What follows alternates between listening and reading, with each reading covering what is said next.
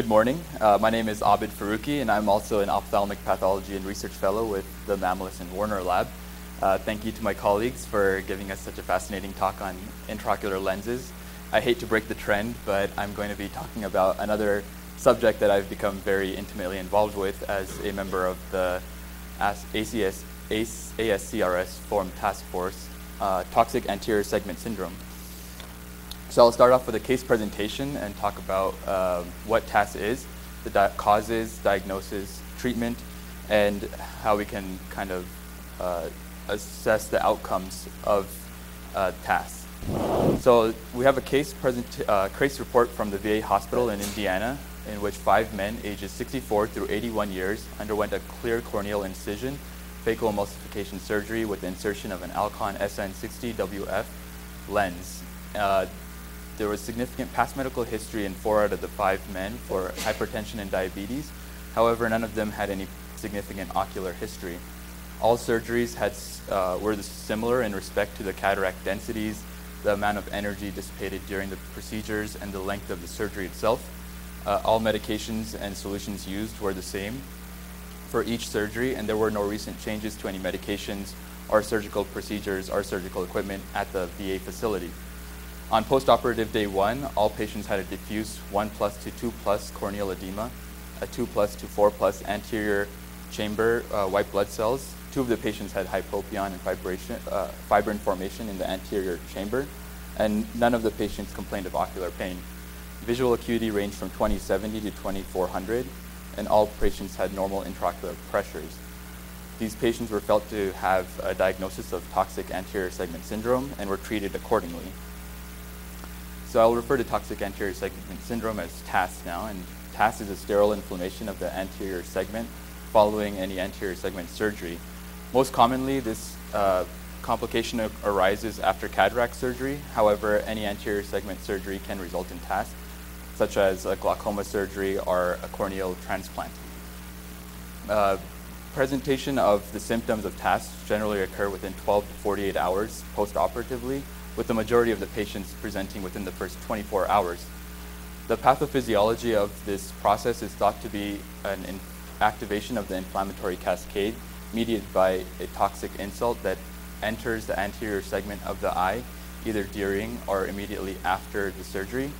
This inflammatory cascade causes the toxic uh, substance is um, is damaging to the corneal endothelium and other sensitive tissues in the anterior segment of the eye, uh, causing uh, corneal edema from the damaged corneal endotheli endothelium. Also, the trabecular meshwork and the iris are also sensitive structures in the eye for uh, increasing the risk of glaucoma or other iris defects. The prognosis of the, of the inflammation and this uh, cascade this cascade varies depending on the amount and the type of substance that enters the anterior segment, how long that substance is within the anterior segment, and how long before treatment is initiated. So some of the symptoms that patients will come into the clinic presenting with are blurred vision, conjunctival injection, and photophobia. However, pain is usually absent, and this will be helpful in distinguishing TASS from another very critical diagnosis, which I will discuss in a few minutes. Uh, some of the signs on, on, slit lamp examination is this characteristic limbus to limbus corneal edema, uh, you'll see increased cell and flare in the anterior chamber. You'll also possibly see hypopyon formation and uh, fibrin formation, and a dilated or irregular pupil and increased intraocular pressure. These last two are more commonly seen with more severe cases of TASS. However, it is also likely that um, uh, patients will present with some of these findings. And just a quick note on the increased intraocular pressure. Usually most patients will have normal pressures upon presentation, but as the healing process resumes, their pressures will increase. However, some patients will present with a more severe case with damage to the trabecular meshwork already, and will have uh, intraocular pressures up to 50 to 60. So here are some of the pictures of the findings that I was just discussing. You'll have a diffuse limbal to limbal corneal edema. On the left, you see this increased conjunctival injection with the hypopyon uh, the, in the anterior chamber. And this last picture is a picture of a severe case of TASS in which there is iris atrophy with a fixed, dilated, uh, irregularly shaped uh, pupil and uh, iris stroma uh, defect, allowing for transillumination of the iris. It's difficult to see here, but the haptics are, visual, are able to be visualized through the iris. So one of the distinguishing uh, diagnoses that is very important to rule out when thinking of TASS is infectious endophthalmitis. So this chart right here is to help distinguish some of the main uh, differences between the two entities. One of the first I want to draw your attention to is the onset of symptoms. In TASS, this generally occurs very acutely within 12 to 48 hours. However, in infectious endophthalmitis, it takes a little bit longer, usually two to seven days postoperatively. And uh, even the most virulent strains of bacteria won't result in symptoms until a few days after. Uh, the cor corneal edema um, is limbus to limbus, and I hate to sound repetitive, but it's very uh, characteristic in TASS. In infectious endophthalmitis, you might have focal edema or none at all. And in the anterior segment inflammation, it's, it's generally a little bit more, more severe in infectious endophthalmitis with greater hypopyon and fiber inflammation. And also, as I mentioned earlier, the pain. Usually with infectious endophthalmitis, you'll have the majority of patients complaining of pain, whereas the opposite is true of TASS. And if there's any ever, if there's ever any uh, uncertainty about the diagnosis of TASS, obtaining a gram stain and culture, uh, obtaining aqueous and vitreous fluid for a gram stain and culture, and uh, is very important in ruling out uh, infectious endophthalmitis. So here are some of the findings uh, characteristic of infectious endophthalmitis. The conjunctival injection is much greater. There isn't a diffuse limbal to limbal corneal edema. However, there is greater hypopyon. And then also the visualization of the posterior pole will be obscured by uh, opacification of the vitreous. So moving on to the causes of TASS, given that the causes of TASS are, are numerous and varied, there needs to be an evaluation of all surgical procedures and protocols when a case of TASS arises. To simplify, I'll break down, I'll categorize the causes of TASS into two of the more common causes. Intraocular medications and solutions can uh, commonly cause TASS. Uh, balanced salt solutions, any solutions used in the eye, can cause TASS if there is irregular uh, pH uh, measurements, um, ionic composition is off, or even or if there's some contamination within the solution. More commonly, topical uh, ophthalmic drops that contain preservatives and stabilizing agents are damaging to the corneal endothelium, uh, which is very sensitive to these agents, and that's more, one of the more common causes of TASS. Uh, epinephrine that's added to BSS during the surgery to help with pupil dilation commonly contains stabilizing agents um, like bisulfites and metasulfites, or preservatives like benzalkonium chloride, and these will are very toxic to the corneal endothelium. Also, I would just want to bring your attention to OVDs, uh, ophthalmic viscosurgical devices, which are toxic in and of themselves if they're left in the eyes, but they're also uh, there's also a chance that if the surgical equipment used is not cleaned properly, that they may retain some in the lumen, and upon subsequent surgical procedures, these can be released into the anterior chamber of the eye, causing uh, causing an inflammatory reaction. One of the other major causes of TASS that was noted to be uh, one of the most common causes during a 2006 six TASS outbreak in North America was the cleaning and sterilization of instruments. Uh, this includes reusable cannulas and handpieces, um, and also talks about the enzymes and detergents in ultrasound baths. Uh, like I mentioned earlier, these lumens of these handpieces may have retained cortical material or uh, dried OVD that is not uh, removed sufficiently. Uh, through the sterilization process, these, are, these persist and allow for further contamination in, in subsequent surgeries.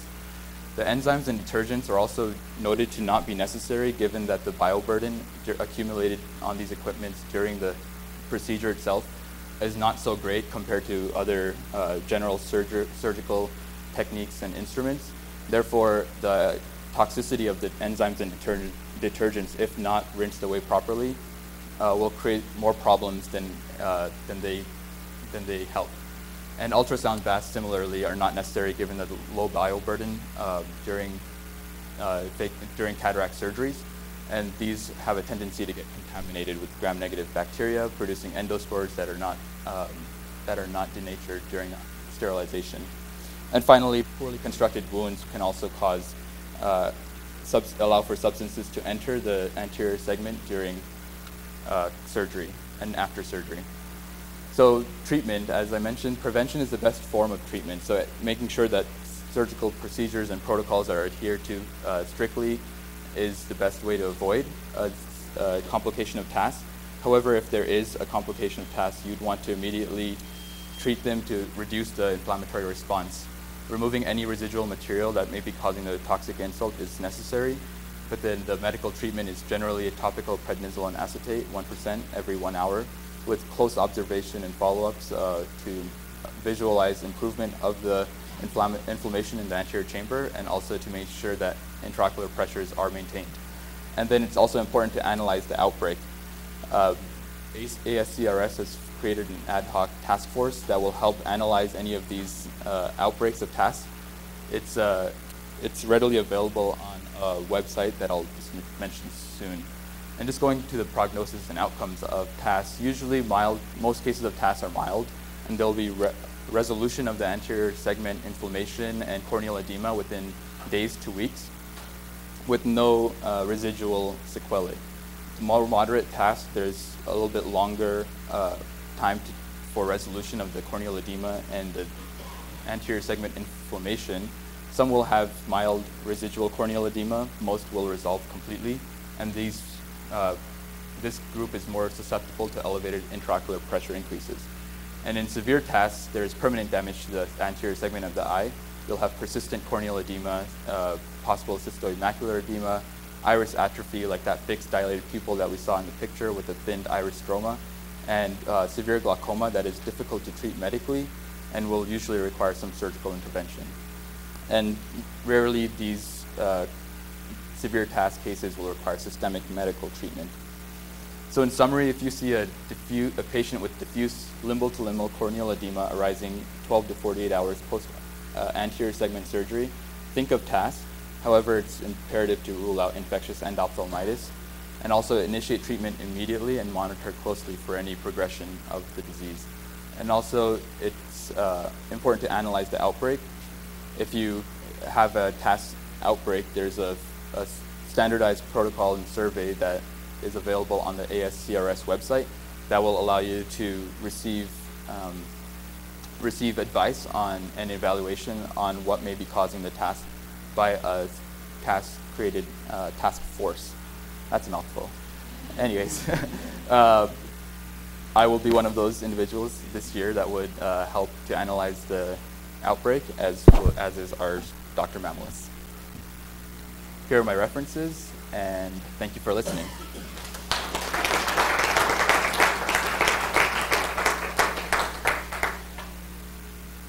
So, yes.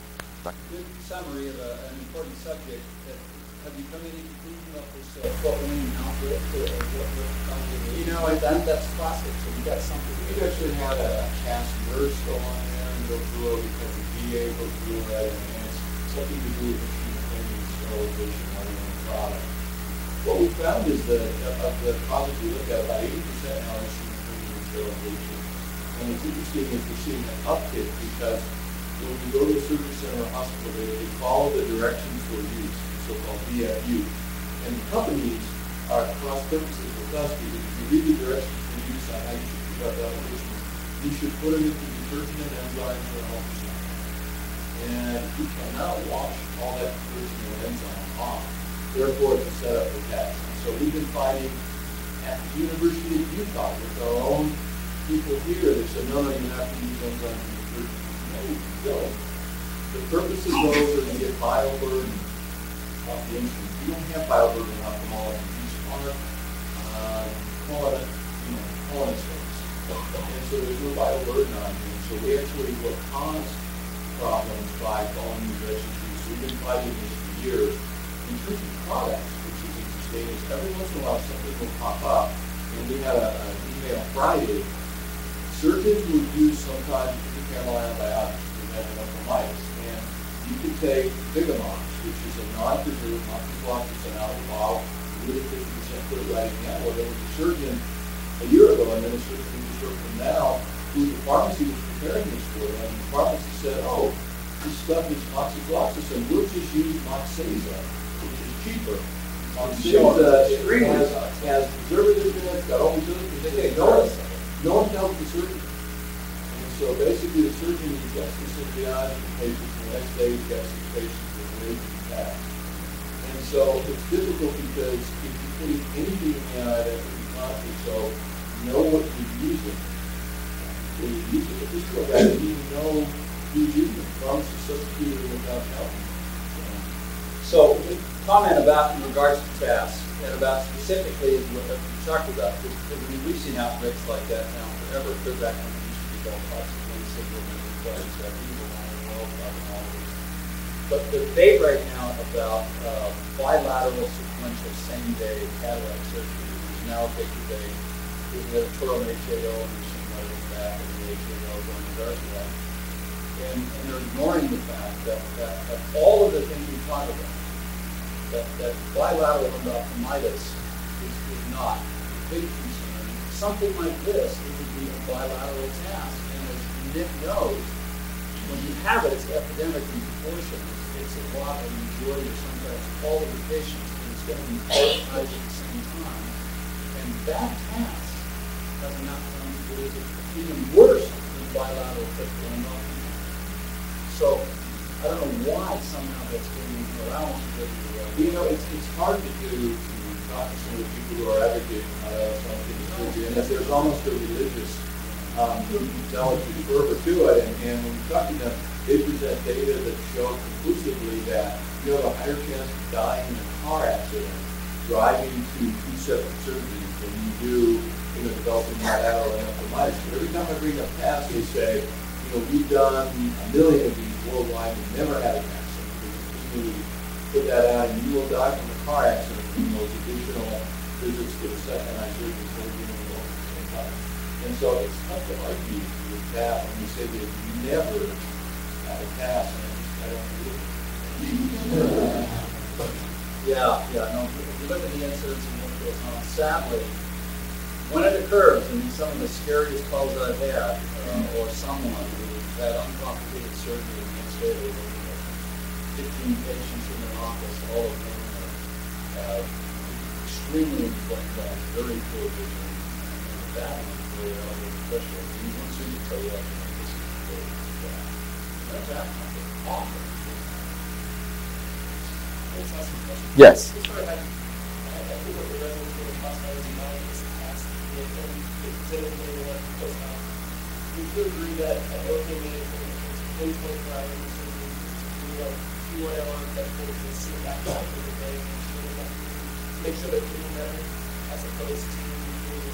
Yes.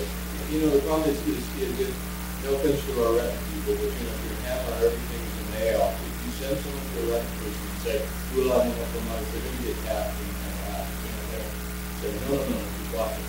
So, if it occurs in the period of time you reach that, it looks like that, is what you say, you start them on hourly, topical corticosteroids, and you watch them that day. You don't send them off and say, back in Montana next week. You will watch them, and by the end of the day, it's another minus, it might start getting worse in this TASS. It might start getting better, but it certainly won't get worse. So you have to check your daily, you know, pressure, one explanation. If there's any question that could build up the mind, then of course, do it to a and, uh, on my eyes. But, you know, it's the hardest thing to do is to kind of hold your breath and see, you know, this is going to it's But you have to watch them extremely closely. Fortunately, day one endophthalmitis is uncommon. If you do have day one, usually really bad, like a pseudomonas or something like that, it's going to show itself pretty fast. So, yes. No. One issue with this bilateral surgery all the risk of non-car accidents the, the issue when it's going by uh, the evidence about the neurodevelopmental tests so we do at times kids with bilateral surgery. Tear everything down, try to separate them separate two separate surgeries. I think you can make a, a viable case for it as, as, a, as a general thing occurring. I think the two issues, I think the endophthalmitis is, is small, probably not a big concern, that's something that wants to talk about. I still worry about bilateral attacks, but, but there's no question, you lose the ability to use the traffic outcome for the first half of the section. Is that a big deal or not, depends on your population. Right. now, what people have, but, Um, I, I think those bilateral cases, I just think it's messianic and this unwillingness to accept the fact that there's gonna be some bad bilateral tasks, so that's a pretty awful situation. And bad tasks, really, I mean, you're gonna, you're gonna get something that they're gonna put in both eyes. Nick and I had one with a, a pharmacy tech with what was six weeks of training, rather than using BSS plus, the additive to BSS, which is highly toxic.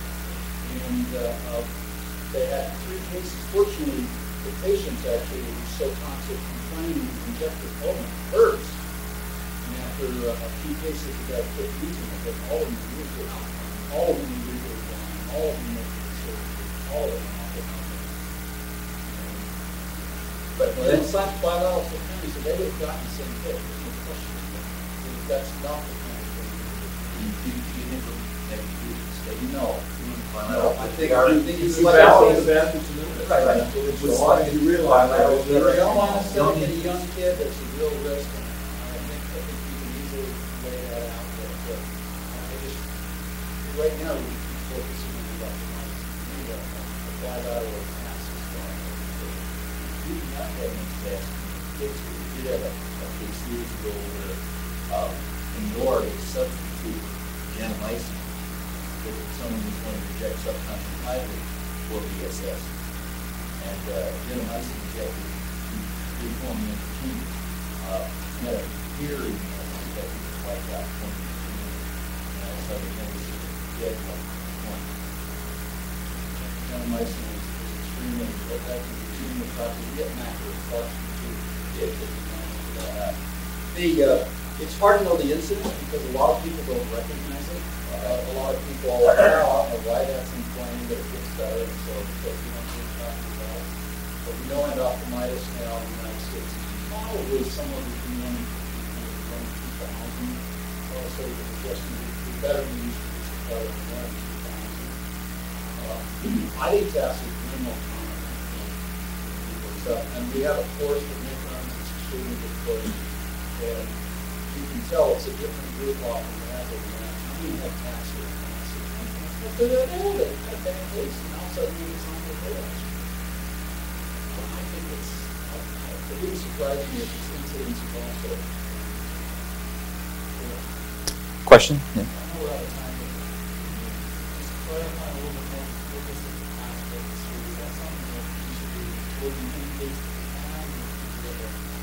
I know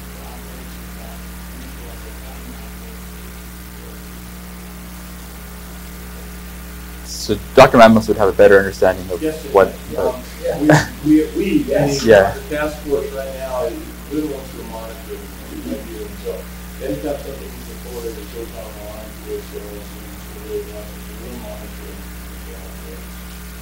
And, um, again, we're out of time, but we live in partner with the FDA, to get a proactive, you know, way of monitoring better and working with the FDA, um, people that rub out from under some computers and all this, and claim to themselves, do themselves. So, it is, that's, that's what we always really want to do, but we are continuing to monitor and looking for people out there to monitor. So, we will reevaluate it periodically if anything's coming.